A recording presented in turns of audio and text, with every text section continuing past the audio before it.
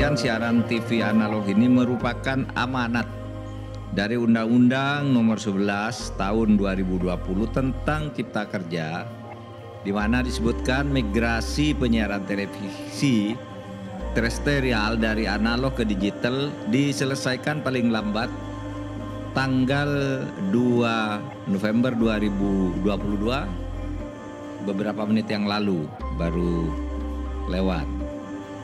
Juga migrasi TV siaran TV analog ke TV digital ini merupakan salah satu program pemerintah dalam mewujudkan transformasi digital. Dan tadi Komisi 1 DPR juga menyatakan itu juga merupakan arahan atau ketentuan dari ITU.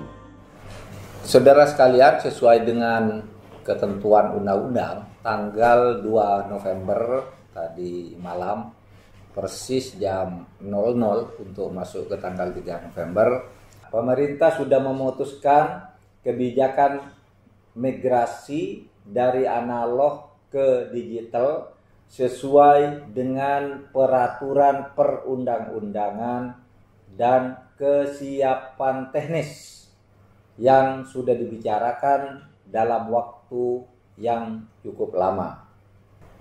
Dan semua cukup berjalan efektif.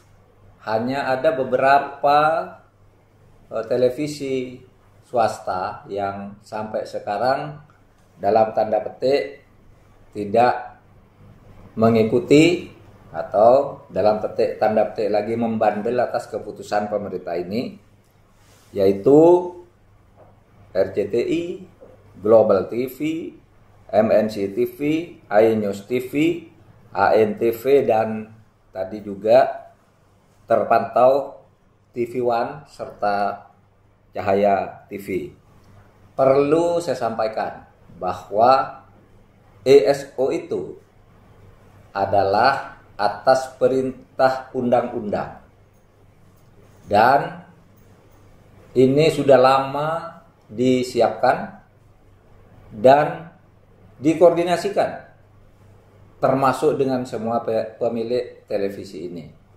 Nah, oleh sebab itu terhadap yang membandel ini secara teknis kami sudah membuat surat pencabutan izin stasiun radio atau ISR bertanggal 2 November kemarin. Maka jika sekarang masih melakukan siaran-siaran melalui analog, maka itu bisa dianggap ilegal dan bertentangan dengan hukum yang berlaku. Nah, oleh sebab itu mohon agar ini ditaati agar pemerintah tidak perlu melakukan langkah-langkah yang sifatnya polisionel daripada sekedar administratif. Ingat bahwa analog switch off adalah merupakan keputusan dunia internasional yang diputuskan oleh pertama ITU International International Telecommunication Union sudah belasan tahun yang lalu. Kemudian di negara-negara ASEAN itu tinggal Indonesia dan Timur Leste yang belum.